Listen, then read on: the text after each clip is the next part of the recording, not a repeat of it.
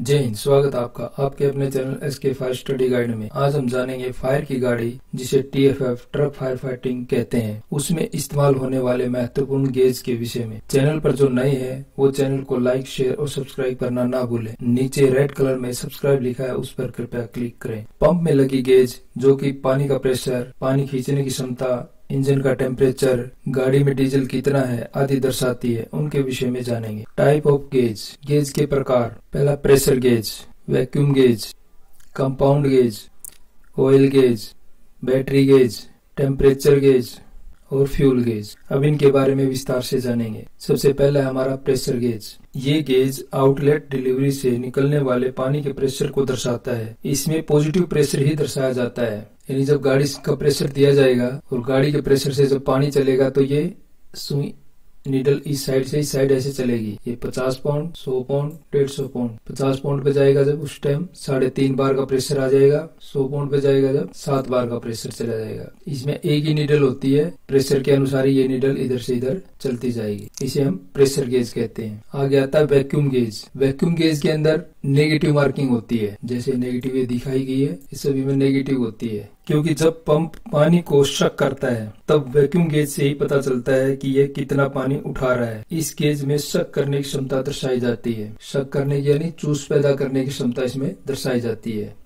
ये कितने केजी पर सेंटीमीटर स्क्वायर से पानी उठा रहा है, या चूस पैदा कर रहा है, या वैक्यूम पैदा कर रहा है, वो चीज़ इसमें दिखाई जाती है, जिसमें प्रेशर गेज और वैक्यूम गेज दोनों होते हैं, उसमें कंपाउंड गेज नहीं होता। इन दोनों का कार्य एक ही गेज से किया जाता है। वो होता है कंपाउंड गेज ये जो सामने पिक्चर में दिखाई दे रहा है, ये इस प्रकार का होता है। इसमें एक साइड नेगेटिव होता है minus ten minus twenty minus thirty और एक साइड पॉजिटिव होता है।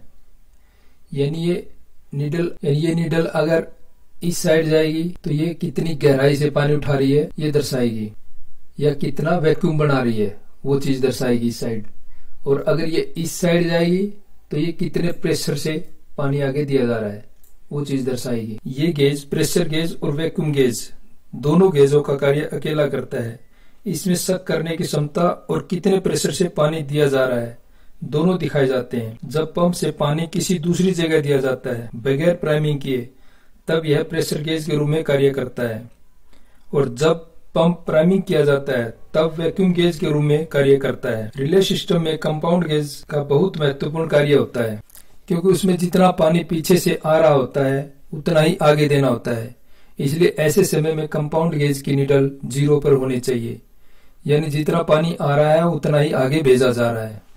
यानी कि जैसे हमारे पास पानी आ रहा है दस के जी पर सेंटीमीटर स्क्वायर के हिसाब से। और हम, हमने उसको कितना देना है? दस के जी पर सेंटीमीटर स्क्वायर के हिसाब से हमें इस पानी को आगे देना है। तो ये निडल जब हम जितना ले रहे हैं, उतना ही आगे दे रहे हैं तो ये ऑटोमेटिकली यहाँ पे ज़ीरो पे आ जाएगी। और ये ज़ीरो पे ही होनी चाहिए। अगर हम दस ले रहे हैं और पंद्रह दे रहे हैं तो हमारे टीएफएफ के अंदर पानी नहीं बचेगा। तो इसलिए हम जितना ले रहे हैं उससे कम दे सकते हैं उससे ज़्यादा नहीं। ये दूसरे कंपाउंड गेज में बिल्कुल क्लियर दिखाई दे रहा है। ये ज़ीरो से इस साइड का एरिया वैक्यूम बनाने वाला एरिया है, जो सामने पिक्चर में लिखा लिखा हुआ है। वैक्यूम ये माइनस में होता है। और ये एरिया प्रेशर का होता है ज़ीरो से आगे। आगे नेक्स्ट है ऑयल गेज पंप में ऑयल की मात्रा और ऑयल के प्रेशर को ये दर्शाती है। इसमें भी एक नीडल होती है जैसे जैसे ऑयल का प्रेशर बढ़ेगा, उस हिसाब से ये नीडल आगे जाती जाएगी। आगे है बैटरी गेज बैटरी चार्ज हो रही है या नहीं? और बैटरी कितनी चार्ज है, ये सभी इस गेज में दर्शाया जाता है। जैसे माइनस प्लस दिया गया है, यहाँ पर बैटरी लो उसके बाद यहाँ पर आ जाती है ये नीडल तो ये बैटरी फुल हो जाती है। आगे आता है टेम्परेचर गेज इस गेज में भी एक ही नीडल होती है और ये इस प्रकार का होता है। इसमें इंजन के टेम्परेचर को ये दर्शाती है। अगर टेम्परेचर ज़्यादा हो रहा है तो हमारे को आइडिया हो जाता है कि इसमें कूलिंग सिस्टम चालू है या नहीं है। वो इसी गेज से हमारे को पता लगता है। या किसी कारण से इंजन हीट पकड़ रहा है तो उसका भी हमें इसी मीटर से पता चल जाता है। आगे नेक्स्ट आता है फ्यूल गेज गाड़ी में डीजल की मात्रा को ये गेज दर्शाता है। जैसे पिक्चर में दिखाया गया है फ्यूल का साइन यहाँ पे एम है, ये हाफ़ टैंक हो जाता है और यहाँ पे फुल तो इसी प्रकार से ये इस गेज द्वारा ये डीजल या फ्यूल दर्शाता है। आज हमने पंप में इस्तेमाल होने वाले महत्वपूर्ण गेजों के विषय में जाना। आशा है वीडियो आपको अच्छी लगी होगी। अगर आपका कोई कमेंट है तो कमेंट बॉक्स में डालें। धन्यवाद।